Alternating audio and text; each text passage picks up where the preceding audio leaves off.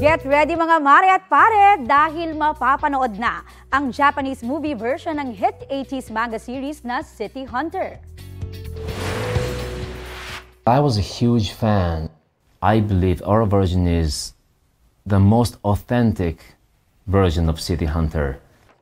And what I mean by authentic is it is the closest to the original comic book written by the author, creator Hojo Tsukasa. And of course, as I said, I Yan ang pag-amin ni Japanese superstar Ryohei Suzuki nang makuha niya ang lead role na si Ryo Saiba. Chika niya, sumabak siya sa iba't ibang training gaya ng paghawak ng baril at manual driving. At dahil alam niya ang series by heart, tumulong din si Ryohei bilang advisor sa pagbuo ng script. Mapapanood na yan sa April 25. Kapuso, para sa mga maiinit na balita, mag-subscribe sa GMA Integrated News sa YouTube. Sa mga kapuso naman abroad, subaybayan nyo kami sa GMA Pinoy TV at sa www.gmanews.tv.